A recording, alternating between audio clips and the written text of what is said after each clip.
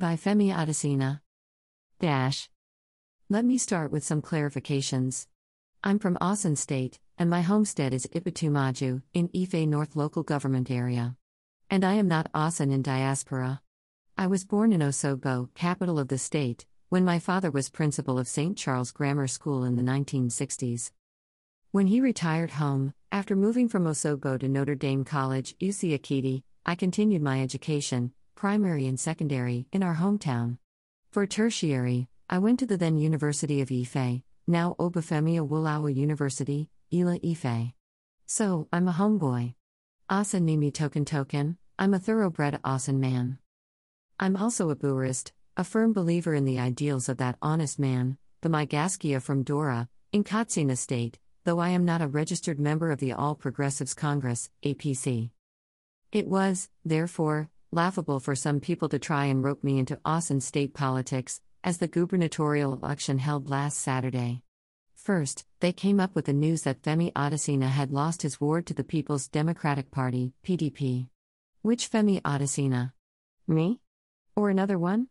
Do you lose what you don't participate in? Out of curiosity, I checked. The APC had, indeed, won my ward and the post office area of Ipetumodu by 176 to PDP's 130 votes. But it didn't matter. It just shows how heinous and petty some people can be. Again, this post later began to circulate on WhatsApp and other social media platforms. The former interim national chairman of APC, Chief Bisi Akande, is from Osun State. The current National Secretary of APC, Senator Iyiola Omisore, is from Osun State. Bola Tinubu is from Osun State. Femi Fani Kayode is from Osun State. Femi Adesina is from Osun State.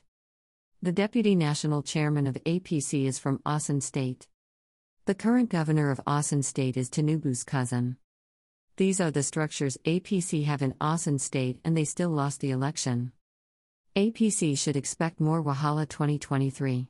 Indeed, people's voice and votes do count. Yes, I agree that people's voice and votes do count, and we will talk more about that, courtesy President Muhammadu Buhari. My position is this I work for an APC government, and it is my preferred party. But member? Not so. I have always rooted for good APC candidates, and I would have loved if Governor Gboyega Oyetola had won in Osun last weekend. I'd known him since he was chief of staff to the former governor, Ogbeni Rauf Aregbesola. They were both at the reception held for me in my town by the then Kabiyesi, when I was appointed media advisor to the president in 2015. Gov Oyetola had been focused, sure footed. But I'd also known Governor elect, Ademola Adeleke, since he was a senator. He had even paid me a brotherly visit at the presidential villa in 2017. So, I was a stakeholder in the Osun election in many ways, but it would be fickle for anybody to call me a part of the APC structure in the state.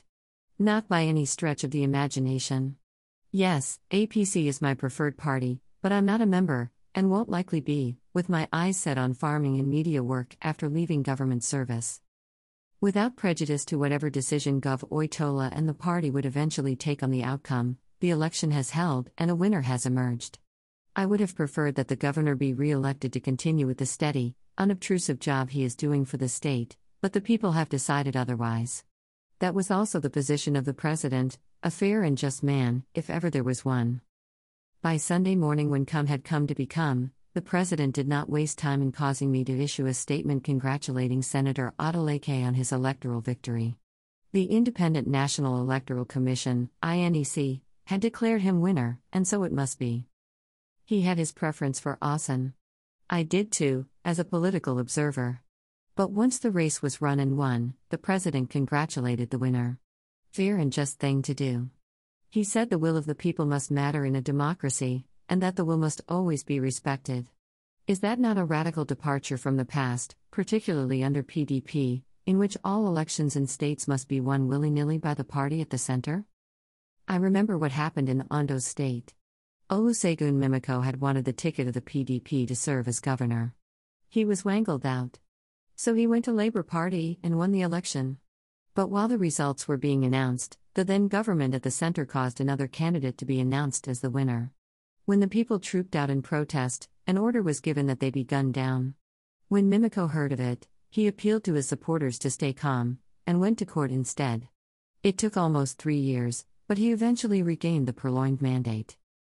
How many PDP governors were eventually kicked out of office by the courts, simply because the party won the positions by artifice and sleight of hands?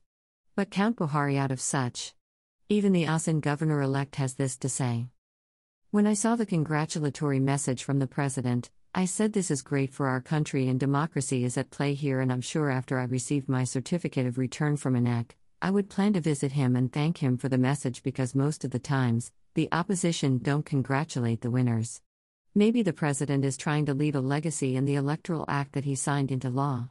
I have to give the president the credit because if he didn't sign the Electoral Act, there would be room for rigging because they did it in 2018.